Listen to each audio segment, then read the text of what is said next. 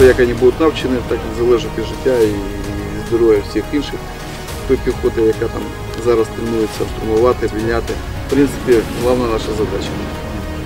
Тому що треба ще раз вияти, підсказати, вчити. Я не думаю, що когось треба там примушувати. Правда?